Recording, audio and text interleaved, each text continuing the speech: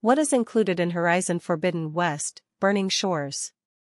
Horizon Forbidden West Burning Shores DLC story. It looks like the post-apocalypse that has ripped through so much of North America in Aloy's world has treated Los Angeles particularly harshly. This is where Burning Shores will be set, and it's been confirmed that in terms of the timeline it'll be a coda after the end of Forbidden West story.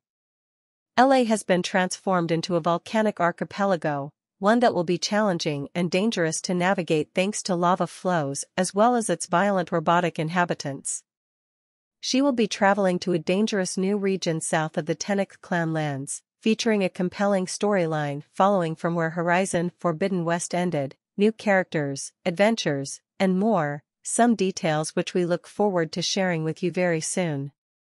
We know that there will be new characters to meet and stories to uncover, but we'll have to wait until more is unveiled before we can get into any more detail. Horizon Forbidden West, Burning Shores seems to mostly feature additional story content without much else. So you'll want to pick it up if you want to continue Aloy's adventure from the base game. Neither Sony nor Guerrilla Games have revealed any other content included with the DLC. Horizon Forbidden West Burning Shores DLC platforms. The single most controversial part of what would normally be a pretty routine announcement is that Burning Shores isn't coming to both of the platforms that hosted Forbidden West.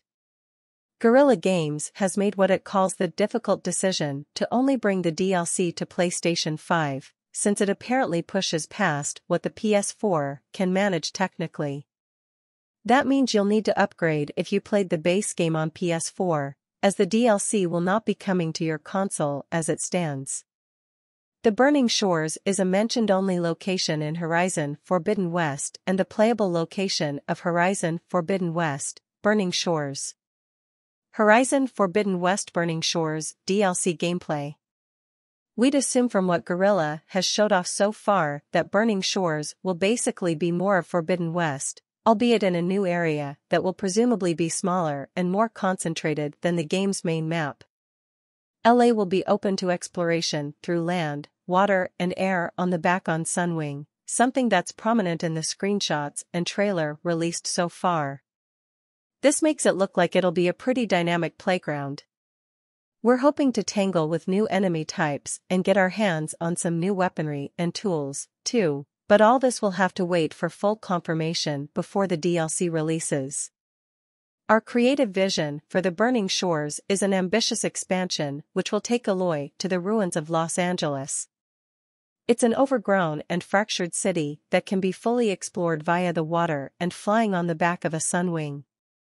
A massive machine threat lurks in its shadows, a huge challenge that Aloy must overcome by using all of her skills and abilities.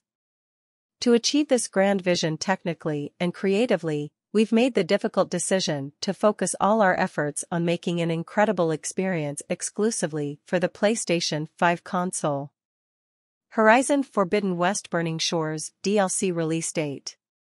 We got a release date for Burning Shores in December 2022, when Sony and Guerrilla confirmed that it's coming out on April 19, 2023. The downloadable content was unveiled at the Game Awards, gaming's annual awards and trailers showcase.